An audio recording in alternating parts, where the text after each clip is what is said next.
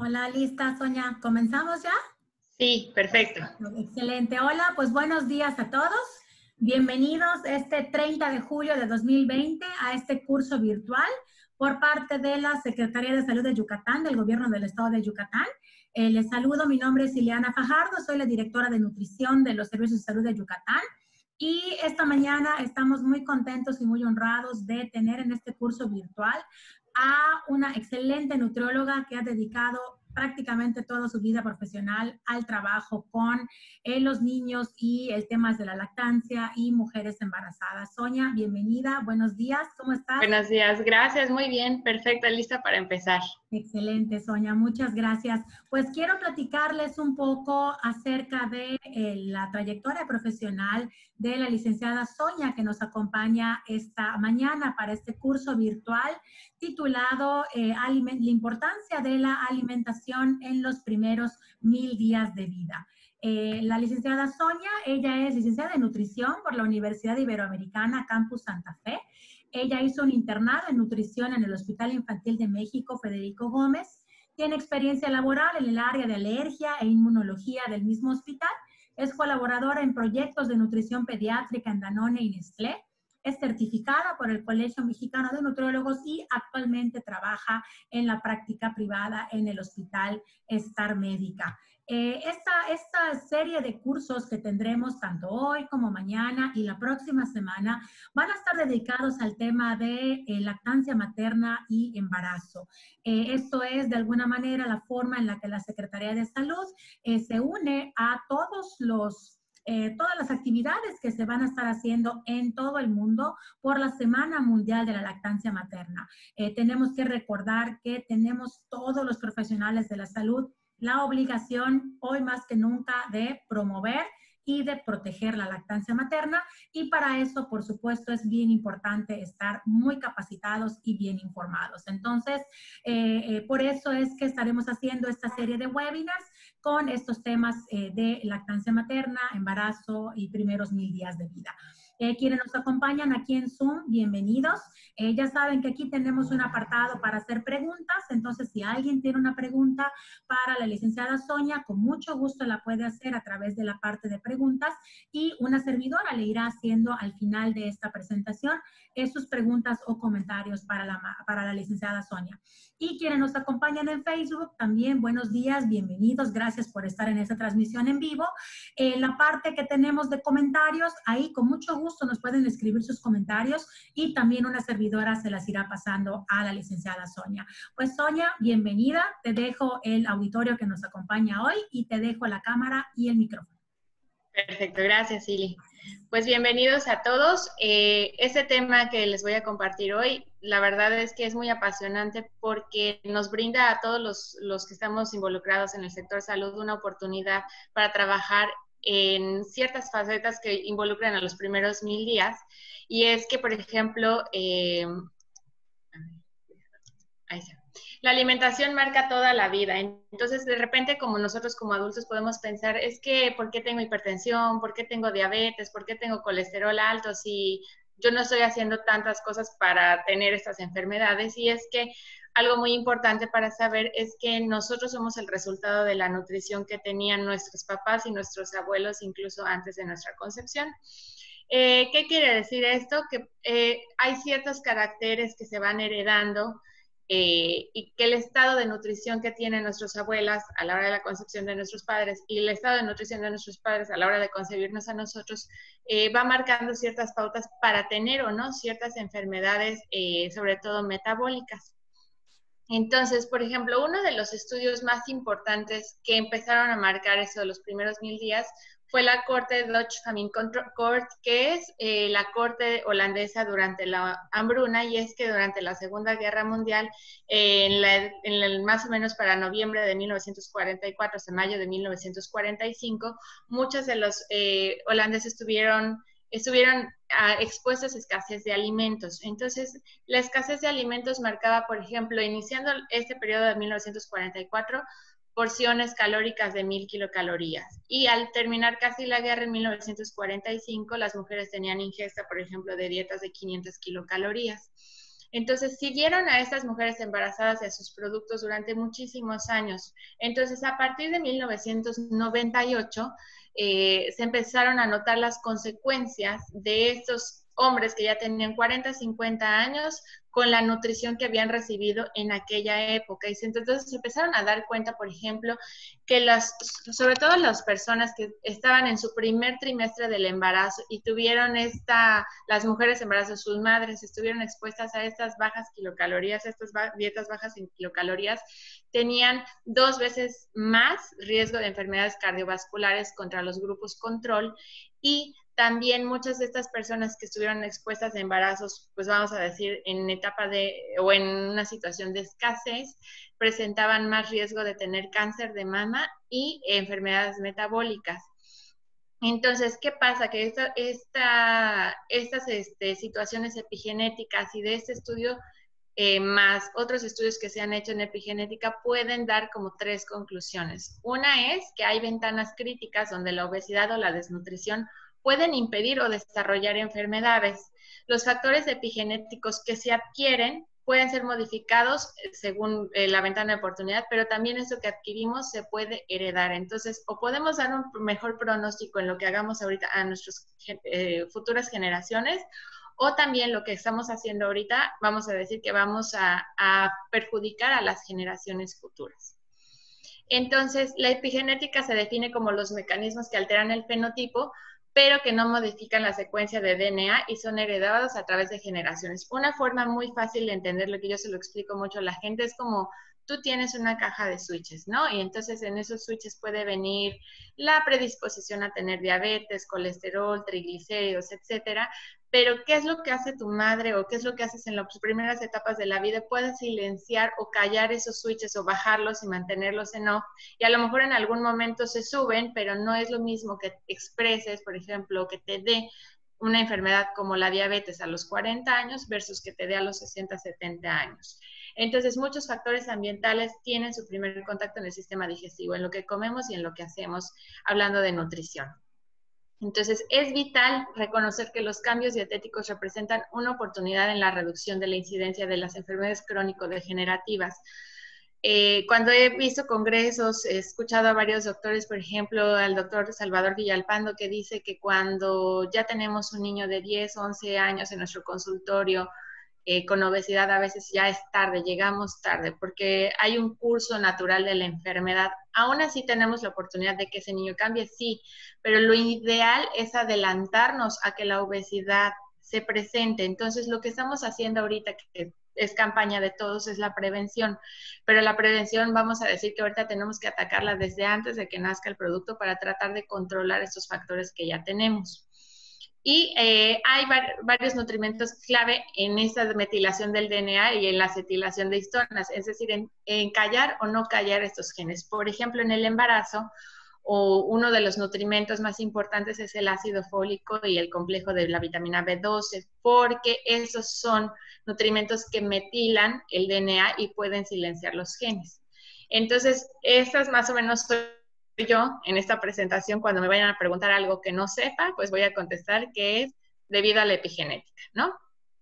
Entonces, por ejemplo, para entender más este, este fenómeno de la epigenética, hay unos estudios con unos ratones que se llaman agouti, eh, que es muy sencillo de entender, por ejemplo, qué es lo que hacen con estos ratones que tienen este gen. Si a una mamá embarazada, una ratona, le damos una dieta normal, no rica en nutrimentos que pueden metilar el gen, entonces, ¿qué va a pasar con este gen agouti? Se va a presentar eh, en exceso, no va a haber quien lo metile, se va a estar expresando, o callando, se va a estar expresando, va a haber una mayor concentración del gen agouti. ¿Y qué va a pasar con su descendencia? Los, eh, los ratones nacen con este gen expresado y ese gen le da el color y las características de antropometría a los ratones. Entonces estos ratones nacen amarillos y desarrollan obesidad y diabetes durante la etapa adulta. En cambio, esos mismos ratones que pueden tener este gen, pero que les dan unas dietas ricas en, donadores de metil, como el ácido fólico y la vitamina B12, ¿qué hacen en este alelo del gen? Lo callan, lo silencian, lo metilan, es decir, vamos a apagarlo, y entonces nacen ratones con el pelo café y con un peso normal y no desarrollan enfermedades metabólicas. Entonces ahí es donde nos damos cuenta que lo que hacemos en el embarazo con eh, los productos puede generar una mejor, un, mejor, un mejor desenlace. Y también, hablando de estudios en humanos, hay un estudio súper importante de epigenética que se llama Early Nutrition, que, se fue, eh, que fue hecho en, en, la Universidad Ludwig Maximilianus en Múnich y que fue dirigido por el doctor Bertolt Koletzko con un presupuesto de 11.12 millones de euros. Y ¿Qué es lo que hace este estudio? Es este, abarcar desde antes del embarazo la composición de la, de la, dieta y la composición materna, llevar a cabo un estudio donde se, eh, se diera una dieta durante el embarazo y cambios en el estilo de vida y control de peso, cómo va a este, otra etapa donde estudiamos qué va a pasar en la nutrición en la infancia y en los primeros años de vida. Y entonces a través de esos estudios se hacen eh, se trata de estudiar mecanismos por los que suceden estos cambios, se hacen estudios solo observacionales y también se hacen estudios de intervención para que al final nos den unas recomendaciones para mejorar la salud. Y entonces esto es lo que, va, lo que vamos a desarrollar en los primeros mil días. ¿Cuáles fueron las conclusiones de este estudio gigantesco a grandes rasgos? Uno, que la exposición intrauterina a grandes cantidades eh, de mm, de grasa producen cambios en el feto que ocasionan obesidad en etapas posteriores. Hay una asociación entre un rápido aumento de peso en, la en el embarazo y en la infancia y un incremento al desarrollar obesidad y que existe una relación entre el ambiente perinatal subóptimo y obesogénico para el niño a partir de la alimentación materna y la predisposición a obesidad y enfermedades asociadas a etapas posteriores. Entonces, lo que les estaba platicando del embarazo esos primeros mil días están ligados, muy ligados con las metas que nos propone la Organización Mundial de la Salud que tenemos que lograr para el año 2025, que estamos a un paso. Y es que ellos decían, proponen como metas la reducción del 50% de la anemia en mujeres en edades reproductivas. Recordemos que una de las causas de la anemia es em, la baja concentración de ácido fólico, vitamina B2. Entonces estamos hablando de factores que pueden metilar genes. Reducción del 30% de la incidencia de peso bajo al nacer, que también el peso bajo al nacer se ha eh, ligado a obesidad en etapas posteriores. Incrementar la tasa de eh, lactancia materna exclusiva en los primeros seis meses al menos el 50%, que todavía no lo estamos logrando reducción del 40% de peso bajo en menores de 5 años de edad, evitar el incremento de obesidad infantil y la reducción de incidencia de talla baja menos del 5%. Todas estas metas tienen que ver con los primeros mil días. Los primeros mil días, 1500 días de vida, según la literatura que consulten, abarcan esas etapas. ¿Por qué son mil días? Porque vamos a hablar desde el los días de embarazo, el primer y segundo año de vida. Esos son los primeros 1500 días de vida. ¿Y qué factores vamos a empezar a estudiar por separado? Es que, cómo influye el estado nutricional materno preconcepcional, cómo influye la ganancia de peso durante el embarazo, qué tipo de parto tienes, qué tipo de lactancia tienes también, la alimentación complementaria, cómo la haces, cuál es la ganancia de peso durante los primeros dos años de vida y cómo te alimentas durante la etapa preescolar. Entonces, todas estas etapas son ventanas de oportunidad. Vamos a hablar del estado nutricional materno. ¿Se acuerdan del estudio que les comenté de Early, Early Nutrition? Entonces, en este círculo vemos como las tres gamas donde podemos abarcar eh, la epigenética, el ambiente, el estilo de vida y los genes. Hablando de los genes, pues ya sabemos que esos genes ya los traemos, ¿no? Ya los tienes tú expresados, ahí no, hay, no podemos hacer muchas cosas. Pero en el círculo donde dice estilo de vida, que es donde vienen las, las estrategias eh, de prevención, pues ¿qué tenemos que, hacer? Por ejemplo, eh, tener, evitar la sobrenutrición o la desnutrición postnatal eh, y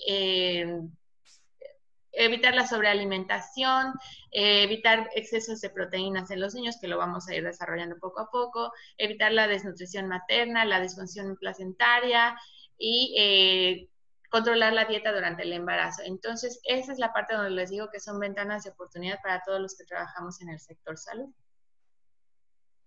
Entonces, el 75% de las regiones metiladas se generan por la interacción del gen con el ambiente inútero. O sea, hay 75% de cosas o de genes o de áreas donde podemos eh, intervenir para que tengamos un mejor desenlace. Uno, evitar el tabaquismo en la madre.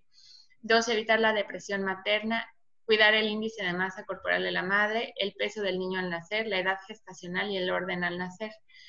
Sobre todo la obesidad materna pregestacional, o sea, antes del embarazo, incrementa tres veces el riesgo de tener un niño con mayor peso al nacer y cinco veces el riesgo de desarrollar obesidad infantil.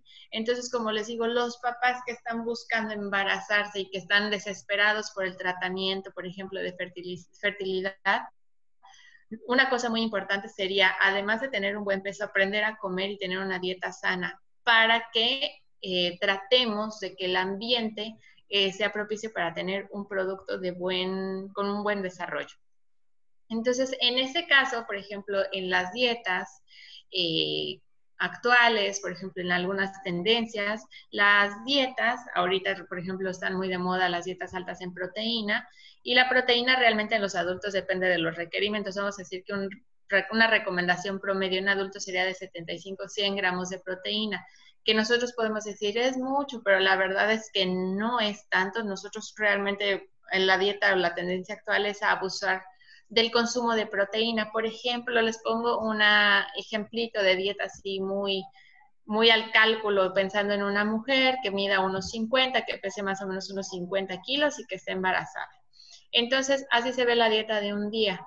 Un yogurt con fruta, con granos, semillas, cacahuates, o una ensalada caprese y en la comida una sopa de pollo con pasta y verduras, un pollito en salsa verde, una manzana, colación en la tarde una fruta, una barra de amaranto con nueces y en la cena una sopita igual de pollo con verduras y unos tequitos de aguacate con opal. Entonces, es realmente lo que vemos de proteína o de apreciación de proteína, lo vemos poco en las fotos, pero eso cumple con el requerimiento de proteína en una madre. Entonces habría que analizar cuando nos vamos a los restaurantes de cortes y nos dan unos cortes de 200, 300 gramos, eh, sería cuestión de analizar si sí cumplimos con el requerimiento o nos estamos pasando. Y bueno, esa información es viejísima, es del 2012 pero a los que trabajamos en el sector salud y más o menos tenemos contemplado el plato del, bien comer, cómo se está dividiendo, ¿no? más o menos un cuarto de plato en verduras, un cuarto de plato en frutas, un cuarto de cereales y un cuarto de proteína. Bueno, quiero que visualicen esta gráfica como de pastel y que veamos en qué se gasta, eh, que se gastaba en aquella época anualmente el gasto en los alimentos en un hogar.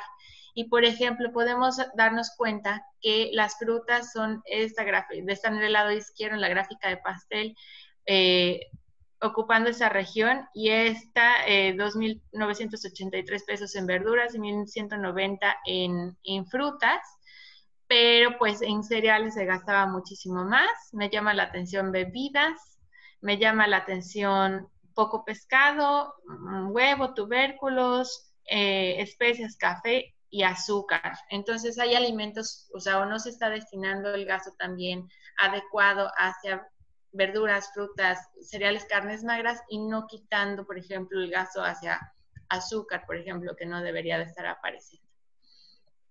Bueno, otros nutrimentos claves en el embarazo es el agua, el consumo de agua de 2 a 2 litros y medio.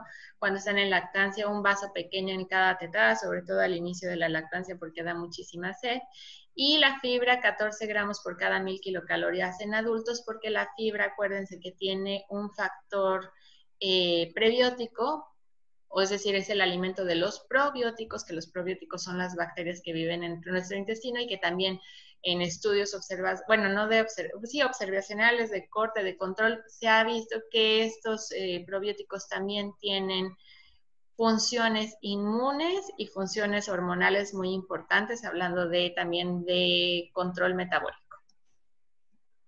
También en el embarazo, los beneficios de una dieta variada, eh, ¿qué importancia tienen? Pues que entre más variada sea la dieta eh, de la mamá, esos sabores, olores van pasando a través de la placenta y continúan durante la lactancia. La leche va cambiando de sabor según lo que va comiendo la madre y entonces estas son como lecciones tempranas de sabor, aumentando la probabilidad de una aceptación posterior. Es decir, si ustedes quieren tener un bebé gourmet o que coma más verduras y frutas, el primero que lo tiene que comer es mamá y papá. Y entonces eso es lo que sucede cuando van a la consulta.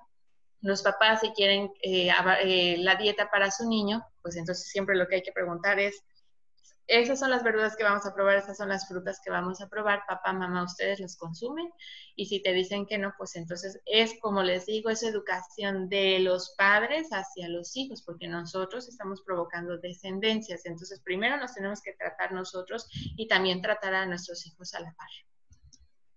Hablando de la ganancia de peso durante el embarazo, pues obviamente tenemos nuestras normas oficiales mexicanas, por ejemplo, la 007. Eh, ¿Qué nos dice? Que hay que hacer una prescripción profiláctica de hierro y ácido fólico, que acuérdense que son eh, metiladores importantes desde el periodo preconcepcional hasta el término del embarazo, y que el control prenatal deberá estar dirigido a la promoción de estilos de vida saludable, prevención, detección y control de factores de riesgo obstétrico. Tenemos eh, también las ganancias de peso según el índice de masa corporal y eh, eh, también eh, hay una tabla especial para el embarazo en adolescentes, que es muy importante tomarlo en cuenta, para el control obstétrico. Y les pongo en este momento la tabla de sobrepeso o obesidad en población de 12 a 19 años. ¿Por qué? Porque nuestro país es uno de los países con una alta tasa de embarazo en la adolescente. Entonces, nuestras niñas, eh, hablando de mujeres, tienen más o menos ahorita un 40% de eh, sobrepeso y obesidad. Entonces, esas mujeres son las que están teniendo hijos también y entonces es donde deberíamos de no nada más hablar de educación sexual, sino también de control de peso y llevar un buen control obstétrico. Y en la población de 20 años o más, que aquí no está dividida la población que está en edad reproductiva, o sea, está abarcando ya todos los adultos, pero las mujeres en nuestro país tenemos eh, ahorita una prevalencia del combinada de sobrepeso obesidad del 76.8% de sobrepeso u obesidad. Entonces, ¿qué nutrimentos son claves hablando del embarazo? En la preconcepción, hierro, vitamina B12, vitamina D, eh, D perdón, B9. En el primer trimestre, hierro, B12, B9, vitamina D, proteínas y grasas. En el segundo y tercer trimestre, proteína, grasa, carbohidrato, hierro, calcio y vitaminas. Y en la lactancia, proteínas, grasas, calcio, hierro y vitamina D. ¿Qué tiene que ver el tipo de parto con nuestro desenlace metabólico? Bueno, muchas, eh, el microbiota materno, es decir, las bacterias que viven en la madre, en el tracto gastrointestinal y en el urogenital, se pueden heredar y al bebé le dan un desarrollo del sistema inmune intestinal, sobre todo si son parto vaginal, porque el niño al pasar por el canal del parto se coloniza con estas bacterias que tiene la mamá y se las va implantando, vamos a decir así, para que vaya generando este ambiente de probióticos.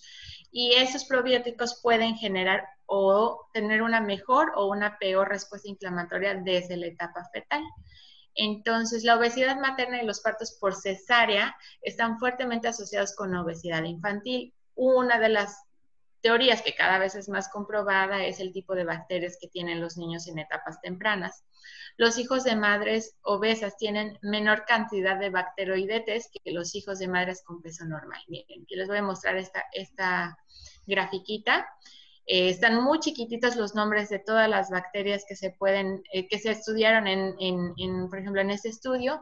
Viene la columna de qué existen o qué tipo de bacterias existen en los niños que nacieron por parto vaginal y qué bacterias existen en los niños que fueron, eh, que nacieron a través de cesárea y el valor P que tiene que ser significativo mayor a 0.05 y entonces te dice la interpretación qué está más bajo y qué está más alto en los niños con, con cesárea y te das cuenta que, por ejemplo, todo el grupo de las bifidobacterias, todo el, grupo de bacteroidetes, todo el grupo de, bueno, de algunos lactobacilos están más bajos en los niños que nacieron por cesárea. Y hay unas eh, más, más altas, unas bacterias más altas, por ejemplo, los hemófilos, las clepsielas, que, se, que, pueden ser en algún momento peligrosas, se asocian más a, desarrollos tempranos a niños que nacieron por cesárea. Entonces, el tipo de nacimiento tiene mucho que ver en este desenlace y estuve consultando la encuesta de salud y nutrición de 2018, pero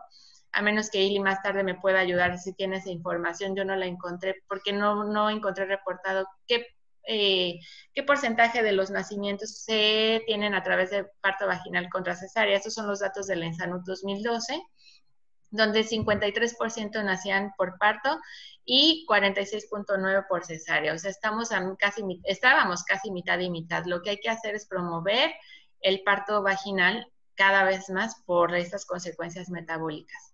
Y entonces si hacemos en esta parte un colado de los niños que nacen por cesárea, más el índice de masa corporal de las madres, que estamos terrible en estado de nutrición preconcepcional, y además la anemia que se puede presentar hasta en un 17% en las embarazadas en México, bueno, según la encuesta en Salud 2012.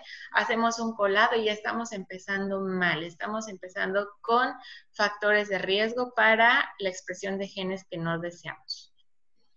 Tipo de lactancia, ¿qué tipo de lactancia reciben? Ahorita estamos inaugurando, estamos por inaugurar la Semana Mundial de Lactancia. Bueno, ya sabemos, conocidísimo que la leche materna es el estándar de oro. Las fórmulas lácteas intentan imitar la leche materna, y pues obviamente que es un derivado de leche de vaca. Generalmente las fórmulas, la leche de vaca son más altas en caseínas, no tan altas en suero. Eh, la industria antes, hace mucho tiempo tenía fórmulas muy altas en proteína. Ahora con estos estudios están intentando bajar eh, la composición de proteínas, pero no solo son las proteínas las que tendrían que arreglar, es todos los factores intrínsecos que tiene la leche materna y que yo creo que ni hemos terminado de descubrirlos y que va a ser no, no tengo miedo de equivocarme ni con toda la tecnología del mundo, va a ser imposible, imposible imitar una leche materna por el simple hecho que la leche materna es dinámica. O sea, no hay una máquina tan perfecta que hace que cambia la composición según el peso de tu bebé, la etapa de tu bebé, la edad de tu bebé, el estado de nutrición de tu bebé. Si tiene una infección le genera más anticuerpos, entonces realmente nunca va a haber algo mejor que la leche materna. Entonces, lo que les comentaba, hace mucho tiempo las fórmulas venían un poquito más altas en proteína, y ahorita están tratando de imitar la cantidad de proteína que tiene la leche materna. Entonces, los niños con alto peso al nacer se relacionaban con obesidad posterior hasta los 14 años de edad en un 36%. O sea, si, si el bebé nace gordito, va a ser un, con mucha probabilidad casi el 40% un adolescente gordito. El tipo de alimentación al nacer, si recibía lactancia materna, se reduce el riesgo de 15 al 25% de obesidad al crecer. Y el tipo de fórmulas que reciben eh, los niños, si es alta o baja en proteína, eh, se hizo otro estudio para compararlo con qué índice de masa corporal tenían a los 6 años de edad. Entonces se daban cuenta que esas fórmulas altas en proteína tenían un 10% más de producir sobrepeso o obesidad versus la baja en proteína que bajaba un 4.4% y la lactancia materna 2.9% de padecer sobrepeso o obesidad a los 6 años de edad. La lactancia materna exclusiva mejoró en la Ensanud 2018, teníamos un 14.4% en el 2012 y ahorita tenemos 28.6%, pero si recuerdan eh, las metas de la Organización Mundial de la Salud acerca de la lactancia materna, nos estamos quedando casi a la mitad de la meta que necesitamos lograr para el año 2025. Y en una información que encontré del Banco Mundial, ponen este mapa del mundo donde buscan qué países tienen más allá del 47.5 de lactancia materna en los primeros seis meses y en el mundo son solo uno, dos, tres, cuatro países los que lo logran hacer. Sobre todo en Latinoamérica, Perú es el, país que tiene mejor tasa de lactancia materna. Bueno, y esta también es información no, o sea, viejita, vamos a decir, del 2012, donde se buscaban qué factores hacían o qué factores eh, decían las madres por las que no continuaban con la leche materna y es un pie para toda la capacitación que va a hacer Iliana y su grupo de, nutriólogos y de especialistas para atacar estos mitos. No, por ejemplo, ¿qué expresaban las mamás? No tuve leche, el bebé no se llenaba, tenía la leche delgada, la leche no sirve, estaba enferma, el bebé no lo quiso, no me gustó tomé medicamento, mi bebé se enfermó, la fórmula es mejor, le dieron fórmula en el hospital y ya no quiso leche materna y otros. Entonces, por lo pronto, salvo no sabemos qué enfermedad tuvo el bebé o qué enfermedad tuvo la mamá o qué medicamento tomó, todo lo demás creo que se pudo haber, estos factores que nos dicen las mamás por no continuar la leche materna se pudieron haber evitado. En cuanto a la alimentación complementaria, eh, las prácticas de alimentación temprana logran hacer o mejorar hábitos alimentarios en etapas posteriores, la cual puede programar nutricionalmente al niño a la preferencia o rechazo de algunos alimentos.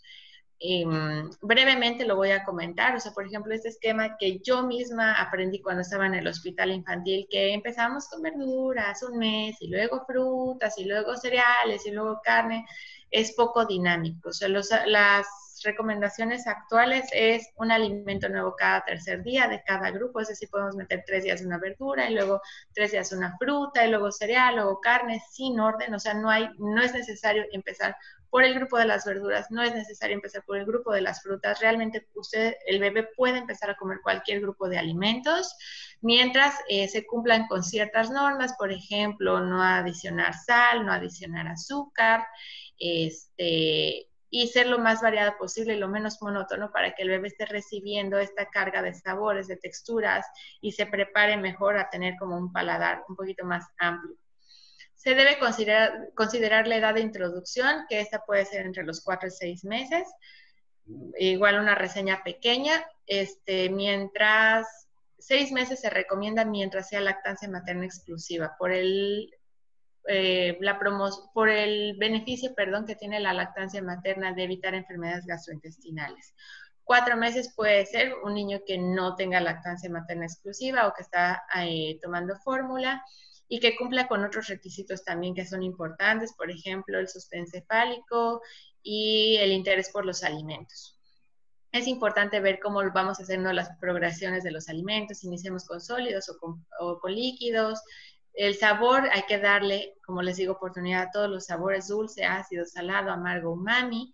¿Qué instrumentos le vamos a dar? Baby led weaning, cuchara, vasito entrenado. Realmente esos métodos de alimentación es importante igual comentar que ninguno tiene más beneficio que otro. O sea, no es superior a hacer el baby led weaning versus el bliss versus las papillas tradicionales, hablando de beneficios de sobrepeso o obesidad. Es lo mismo, asfixia, el riesgo de asfixia es igual en todos Solamente lo que les digo, el, papá puede decidir qué método de alimentación iniciar, pero hay que saberlo hacer y decir este, una adecuada orientación.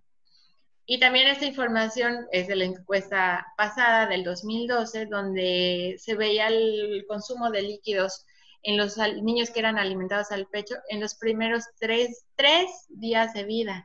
Y entonces se daban, o sea, nos podemos dar cuenta que se mencionaban, además de la leche exclusiva, había niños que tomaban agua, solución de hidratante, de rehidratación, test, infusiones, leche no humana, fórmula, jugos y mamás que decían que sí, pero no especificaban qué alimento que bebía. O sea, sí tenemos muchas piedras en el camino hablando de lograr una lactancia exclusiva, sobre todo los primeros días, que es cuando se logra hacer como el vínculo y este, lograr una buena producción de leche materna. El, contacto en los primeros días es vital. La ganancia de peso en los primeros dos años de vida, que es otro, otra ventana de oportunidad. Hay estudios donde siguen a estos niños en los primeros tres años de vida y qué es lo que están haciendo para tener riesgo de sobrepeso, obesidad o grasa visceral después, grasa abdominal, perdón. Entonces, la rápida ganancia de peso durante los primeros dos años de vida está asociada con mayor riesgo de obesidad en la infancia y en la edad adulta. Entonces, a veces, no sé si les ha ocurrido, en la consulta encuentras que, no sé, ya tienes un bebé de tres años con sobrepeso o obesidad y preguntas, ¿y con qué peso nació? Con tres kilos, por ejemplo. ¿Y cuánto midió? 50 centímetros. Entonces, el bebé no era obeso, no nació obeso, pero ¿qué fue lo que pasó? Muchas veces ya nos vamos encontrando que a lo mejor la alimentación complementaria fue muy buena, ¿no? Empezaron con papillas y hay mucho interés porque coma verdura cocidita y se la hacen fresca, papillas todos los días, pero cuando los niños se introducen a la dieta familiar, que es lo que les estaba comentando desde un principio, se introducen al mundo de los adultos y esta introducción a la dieta familiar yo creo que a veces se interpreta como una permisividad de que el niño ya puede comer todo y entonces se destapan los malos hábitos familiares. O sea, si tú eres una persona de consumir eh, botanas y entonces el niño ya te da esta gracia, ¿no? Ay, el niño se enchila con la botana grasosita y tú eres una persona que consume refresco y entonces ya le empiezan a servir al niño refresco porque es parte de las, de, las tradiciones, es parte de la fiesta familiar.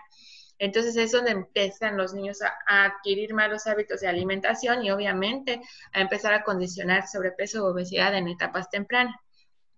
Los hijos de las madres con sobrepeso o obesidad, y volvemos a hablar del estado de, nutrición de los adultos o de los cuidadores, eh, que los niños tengan un crecimiento acelerado durante los primeros dos años de vida, incluso si son alimentados con leche materna. En este caso, con un asterisco, parece que a veces el factor de la lactancia materna no es tan protector si la mamá tiene sobrepeso u obesidad y la ganancia de peso esperada en los primeros dos años de vida para las niñas es 8.3 kilos y para niños 8.9 kilos. ¿Qué quiere decir? Que, por ejemplo, si mi bebé nació con 3 kilos, a los dos años de edad tiene que tener 8, 9, 10, 11.3 kilos aproximadamente de peso y en niños casi 12.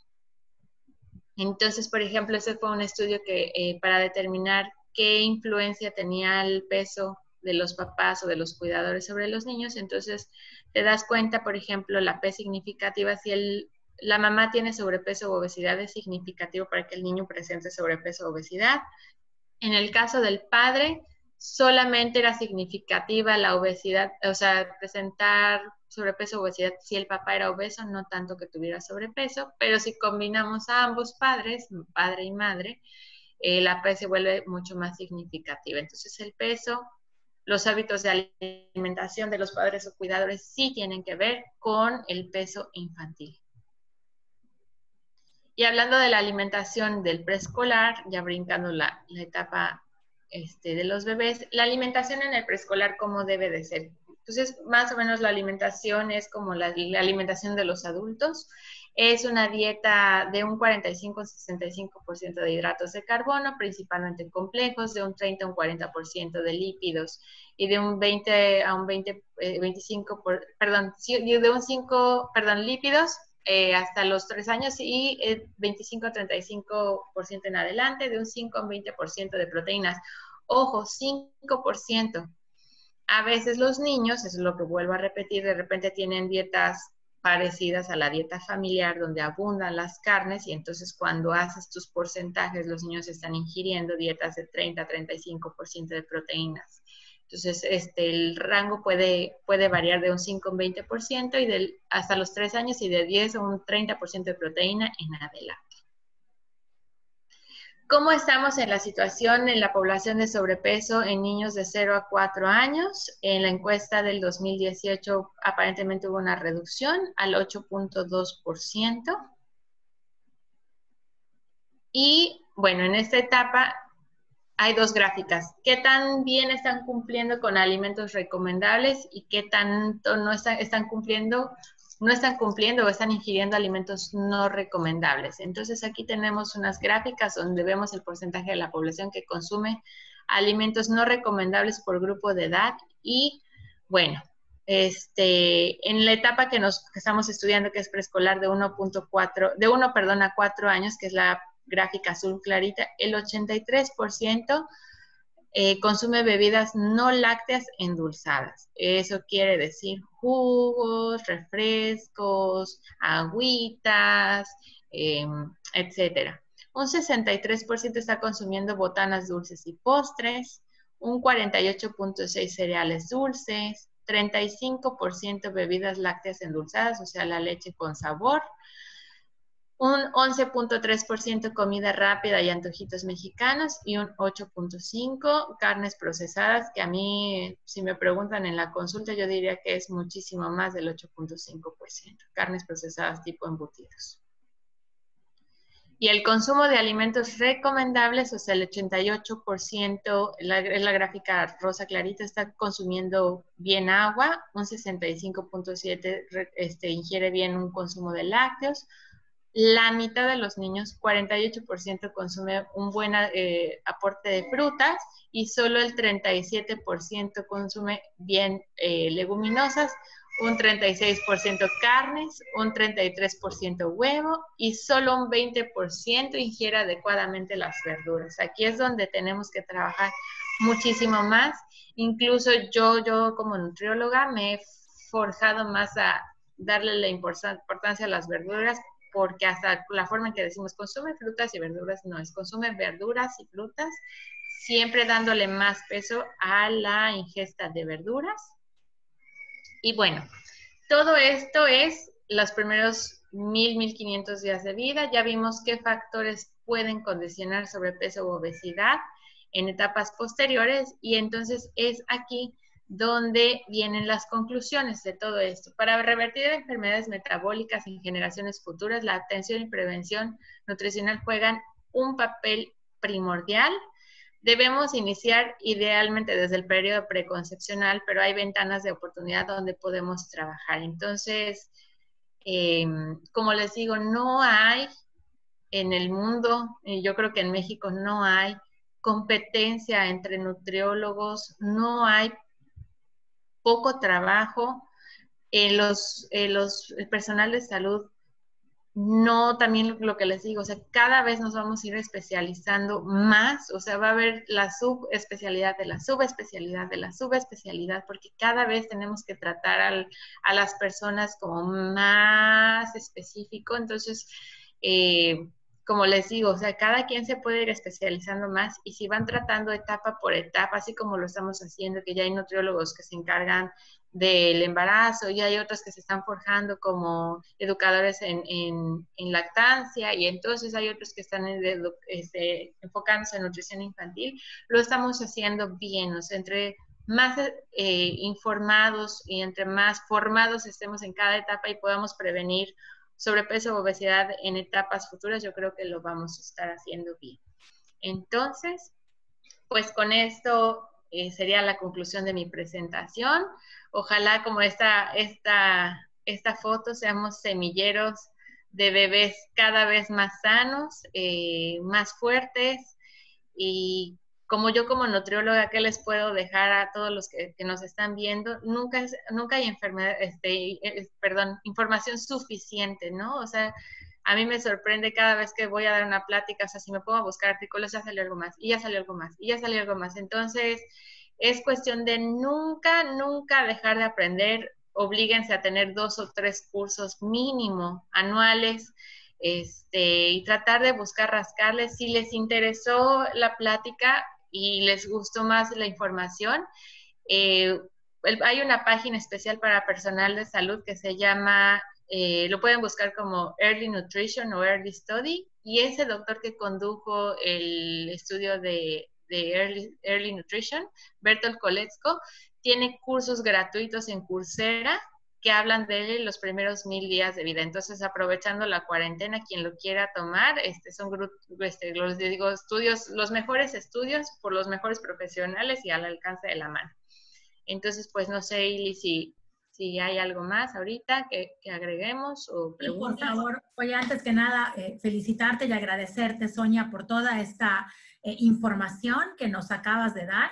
Eh, la verdad es que creo que nosotros, por supuesto, que muchas veces hemos sido barreras precisamente para que se dé de una manera correcta, no nada más la lactancia, sino estos primeros años de vida que son bien importantes. Y como que nosotros mismos de repente como que hacemos un parche, ¿no? Como que cuidamos, bueno, los que de alguna manera estamos en esto, ¿no? La lactancia, pero luego la persona no vuelve a ser importante hasta a lo mejor que esté en edad escolar, como que hay este, este puente entre que dejan la lactancia y empiezan a ir a la escuela, que es donde me parece que eso es uno de los puntos claves que mencionaste, cuando introducimos al niño a este ambiente y a estos hábitos familiares, es cuando a veces, desgraciadamente, nosotros mismos, tanto como responsables de un niño como papás, ¿no? Como el mismo a veces personal de salud, este, descuidamos esta, esta etapa que se vuelve bien importante para forjar los hábitos y tratar de alguna manera de si ya venía el niño por predisposición genética, a lo mejor con algunos genes predisponentes a enfermedades crónicas, pues en ese momento es donde de verdad pues terminamos ahora sí que de, amolar, ¿no? Entonces, creo que es muy importante que tengamos en cuenta que todo este momento, desde la concepción o antes de la concepción, como bien decías, hasta estos cuatro o cinco años de vida, son determinantes para todo lo que sigue después. Entonces, creo que sí tenemos la obligación todos de estar bien capacitados, de dar recomendaciones basadas en evidencia, más que como a lo mejor a mí me fue, porque a veces cuando se trata de esta etapa, se nos olvida que somos profesionales y empezamos con nuestra propia experiencia como, como papás o como le fue a mi sobrino o como le fue, y se nos olvida que de alguna manera, pues, si vamos a emitir una recomendación, tenemos que hacerlo basado en evidencia. Y eh, a veces hay niños que, como tú decías, nacen con un peso excelente, o sea, digo, con buen peso, con buena estatura, y de repente cuando los vuelves a ver, dices, oye, ¿en qué momento el niño desarrolló sobrepeso y obesidad? Si nació y lo recibí perfectamente bien, ¿no? Entonces, me parece que sí es una obligación de todos eh, estar bien informados. Eh, toda esta información que nos acabas de dar me parece que es muy valiosa. Eh, lo que comentabas del Ensanud 2012, no hay todavía los datos, eh, todavía, bueno, los que estamos en esto no tenemos a disposición estas láminas que sacaron de Ensanud. Son como 40 láminas donde hay algunas gráficas que evidentemente han sido muy útiles, pero esta información desglosada este, no, no, no la tenemos con mucho gusto eh, desde la Dirección de Nutrición. En cuanto tengamos algo de información más detallado de lo que se descubrió, vaya, en 2018.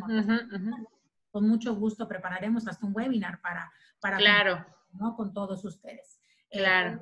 Eh, sí, es bien importante eh, esta, esta etapa. Sí, aquí hay una, un comentario, una pregunta, Sonia, si me permites, te la voy a Sí, sí. Pregunta Gaby, dice, ¿cuál es tu punto de vista acerca de promover el vegetarianismo en niños pequeños? Es una duda muy recurrente. Este, mira, ya hay evidencia de, cómo se debe de hacer la alimentación basada en plantas en pacientes pediátricos. Eh, yo honestamente, por ejemplo, les digo, no es eh, sencillo, o sea, se necesita hacer como una, un curso más, eh, más detallado. Lo que sí no hay, que eso es muy importante, o sea, se están dando, hay, hay muchos mejores nutriólogos que yo en ese aspecto de nutrición basada en plantas, o sea, si quieren les puedo mandar el contacto, pero eh, lo que no hay es tantos estudios. Entonces, también muchas de las recomendaciones que se pueden hacer de vegetarianismo o veganismo en niños no puede tener tanta validez si no hay tantos estudios, ¿no? Entonces, sí hay, como les digo, como highlights, como estudios que tienen sus eh, cosas importantes, este, si a alguien o esa chica le interesa, les puedo mandar la cuenta de con quién ponerse en, contacto y va a haber un curso muy importante de nutrición basada en plantas. Entonces les digo, de que se puede, se puede, pero tienes que tener la capacitación y la información para hacerlo. No es como el de los adultos, o sea, no es, ah, yo soy vegetariano y entonces yo pienso que mi dieta le va a hacer bien a un niño, porque justo eso, cada requerimiento de proteína, carbohidratos es diferente en niños. Entonces, hay que capacitarse para hacerlo, pero de que se puede, se puede hacer. Sí, es, es, la verdad es que es eh, importante hacerlo basado en, en, evidencia, ¿no? O sea, Así es. Eh, es, es, completamente, igual estoy de acuerdo, eh, hacer una recomendación o tomar una decisión con un adulto, ¿no? Que pues finalmente pues, los sistemas, ¿no? Nerviosos, circulatorios, digestivo, pues finalmente ya están plenamente maduros y desarrollados a hacerlo sin el soporte de evidencia con, con un bebé, ¿no? Digo, Así es. No creo que eh, me parece que es prudente esperar, ¿no? A, conocer alguna... Claro, una de las cosas que, por ejemplo, yo, yo veo en, bueno, no veo, que sé de la, la, alimentación vegetariana basada en plantas en niños, es, por ejemplo, que uno de los aportes proteicos, sobre todo hablando de leche, es la leche materna. Entonces, si una mamá no va a dar leche materna los primeros dos años de vida, el bebé no puede ser vegetariano porque las fórmulas de plantas este arroz, eh, arsénico, por ejemplo, la de soya y la de otras, otros granos, avena, etcétera, no dan el aporte proteico que necesita un niño. Entonces, por ejemplo, ese es uno de los detalles que, hablando de las tasas de lactancia en México, o sea, híjole, también encontrarte una mamá que esté dispuesta a darle dos años pecho a su bebé, no es imposible, pero es uno, por ejemplo, de los requisitos que hay que saber y estudiar para poder recomendar algo así y me parece que es muy válida, bueno, al menos en este momento, digo, para los profesionales que nos acompañan, si de repente alguna mujer no llega con esta propuesta de querer basar la alimentación de su hijo en plantas, me parece que mientras tenemos más evidencia, pues una excelente recomendación sería esta, es, ok, pero ¿está en lactancia materna exclusiva? ¿O le estás dando lactancia materna? No, entonces, pues probablemente a lo mejor sea no hacerlo, ¿no? Es, Exacto. Me parece algo muy válido por el momento, ¿no? Así es. ¿Le estás haciendo lactancia materna? Sí, bueno, pues pues así es, ¿no? Pero mientras, mientras no haya otra, otra evidencia, pues mejor no. Eh, aquí igual nos preguntan, eh, dice, buen día, tuve la experiencia de atender un paciente, una paciente embarazada que era vegetariana y ahora sus hijos en edad escolar padecen diabetes. Eh, ¿Habrá tenido algo que ver la dieta? Bueno, pues ahí habría que... Mm, no sé, no sé, ¿no? Porque en general, por ejemplo, la dieta vegetariana podría ser me parece rica en ácido fólico, rica en... Y si tomo sus suplementos, o sea, realmente yo creo que no, a lo mejor habría que estudiar la genética y qué tipo de diabetes presentan los niños. Si es tipo 1, ya sabemos que es más heredada a la, a la genética que a la alimentación. Exactamente. Mira, aquí hay otra pregunta. Nos preguntan, ¿qué mensaje darías a los profesionales de la salud para combatir el incremento en el consumo de alimentos ultraprocesados que se observa en las gráficas de Ensanud 2018? Pues mire, es, es educación en alimentación es que es muy difícil eh, evitar lo que estamos tratando todos, el evitar alimentos ultraprocesados. Creo que, bueno, tú eres más experta que yo y lo de los etiquetados claros, por ejemplo, yo ahorita que ya fui al súper, o sea, yo creo que sí está produciendo un impacto. Cada vez que agarras un, un, un alimento y te dice alto en azúcar, como que ya te lo estás pensando dos veces si lo vas a comprar o no. Em, es cuestión también cultural, ¿no? Lo que decías tú, y por ejemplo, que los niños van muy bien, van muy bien, y cuando los introducimos a la dieta familiar les damos en la torre. Yo creo que, o ese es el, uno de los mensajes que más les doy a las mamás que van conmigo al consultorio, es que nosotros como mamás de niños y de jóvenes tenemos que ir pidiendo ambientes más sanos para los niños. O sea, por ejemplo, propiciándolos nosotros mismos. Es decir, por ejemplo, que la fiesta infantil ya no venga con el desfile de dulces que el dulcero no sea el regalo del niño, sino a lo mejor un juguete, una cuerda, este, eh, no sé, que no propiciemos fiestas de videojuegos, sino sean fiestas de brincolines, que yo sé que amamos nuestra dieta y que amamos el merengue, el pastel y el tamal todo en el mismo plato, pero también de repente le demos la oportunidad o a lo mejor a que los niños vengan comidos de sus casas y solo compartan un pequeño postre con nosotros, o sea, no se tiene que dar todos los factores a los que estamos acostumbrados, porque nosotros crecimos así y muchos nos escudamos en el yo estoy bien. O sea, yo estoy bien aparentemente, pero también yo no sé qué hice mal en mi etapa de niño y qué le vaya a dar en la torre a mis hijos. Entonces, eso es lo que asusta. Ya cuando empiezas a desglosar este tema y dices, ching, es que de niña comí así y de niño fui así y ahorita de adulto estoy así y no sé ni siquiera en 10 años cómo voy a estar de salud y ya tuve hijos y entonces ya empieza cómo programé mis hijos, sea, es cuando tienes que empezar a cortar y en decir, bueno, nunca es tarde, pero hay que empezar a hacerlo ya, ya desde ahorita. Lo más pronto posible. De hecho, ayer lo comentaba yo con alguien que nunca es tarde.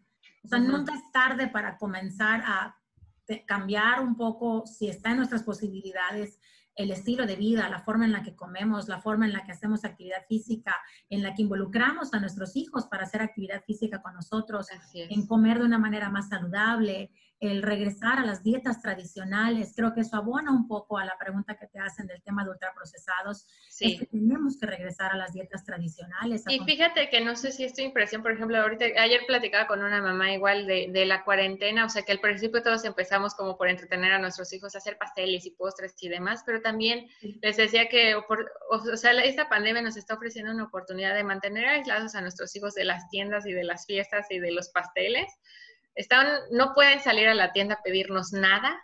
Entonces este, tenemos una oportunidad de oro, yo creo, de tenerlos un poco aislados de ese mundo de cosas chatarras, de traer, que nosotros somos los que estamos saliendo al súper, de traer alimentos sanos y que ya no tenemos tanta prisa por, por trabajar y salir y comprar comida. Entonces es una oportunidad magnífica, como tú dices, de sacar el recetario de la abuela y hacer sopas muy ricas y de hacer guisados muy ricos y meterles verduras y aprovechar el tiempo, no perderlo. Y creo que esa es una buena recomendación que podemos hacer como profesionales. Oye, hoy sí, porque la verdad es que lo hacemos como, como profesionales y como papás también. eh, tendemos, por ejemplo, echarle la culpa del tema del sobrepeso y la obesidad a las escuelas, ¿no? Es como que ha sido siempre el tema, ¿no? El, esta, esta debate entre el tema de las escuelas y la responsabilidad de la casa.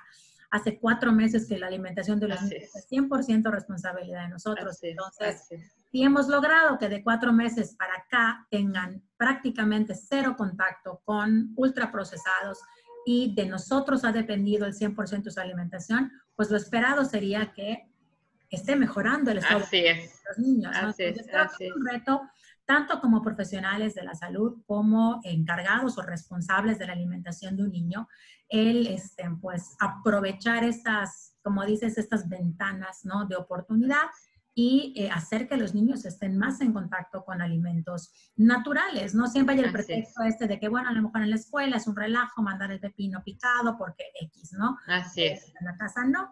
Entonces, sí creo que es bien importante esta, este tema, ¿no? De, el tener para los niños acceso y disponibilidad de alimentos saludables y quitarnos el mito nosotros como profesionales de la salud y los padres de familia de que una alimentación basada en alimentos que no son ultraprocesados es cara. Eso es completamente falso. Eh, tenemos, de hecho, eh, queremos preparar un webinar de esto, así como, como si fuera una clase, así como de costos, de lo que cuesta, ¿no? Prepararte un alimento en casa y lo que te cuesta comprarlo en la calle.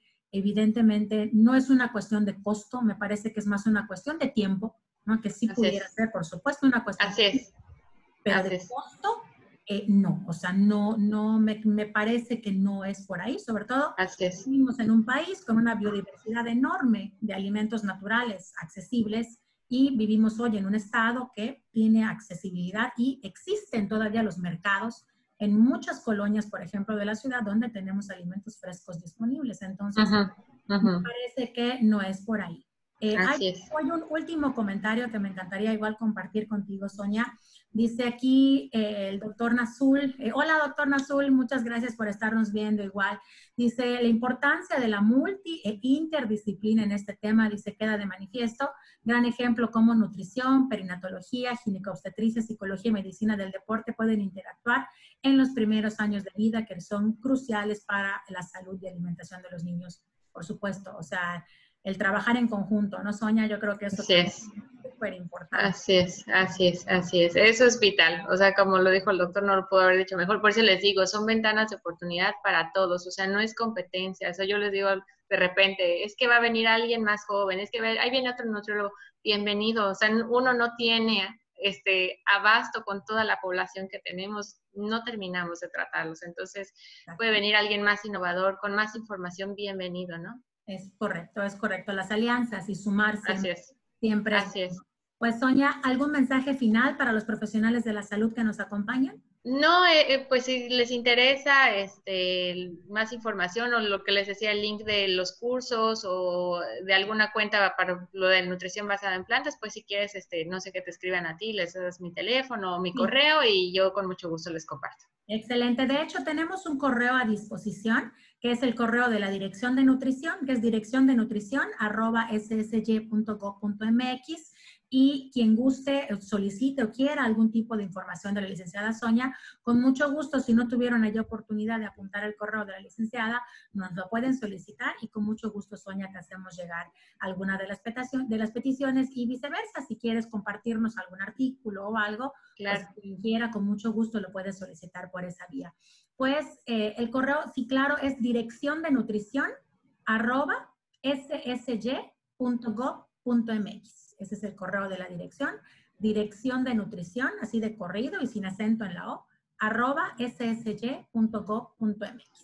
Entonces, pues, no nos queda más que agradecerte inmensamente, Sonia, por esta excelente capacitación que para nosotros abre con con, con mucho lujo las actividades que tenemos eh, sencillas, porque pues es lo que, lo que podemos hacer ahora por la Semana Mundial de la Lactancia Materna.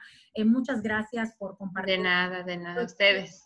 ¿no? De, creo, que, creo que termina siendo también algo también muy, valioso, ¿no? La experiencia como profesionales de la salud, que podemos compartir con otros profesionales de la salud para mejorar entre todos la atención que damos a este grupo de edad. Eh, les agradezco mucho quien, quien quiera la grabación de este webinar también al mismo correo electrónico que les acabo de decir. Con mucho gusto también la puede solicitar y con mucho gusto les mandamos el link. Mañana, el día de mañana, tendremos a otra invitada de lujo, que es la doctora Claudia Cifuentes Vela. La doctora Claudia Cifuentes eh, tiene muchísima experiencia también trabajando con eh, lactancia materna, primeros mil días de vida.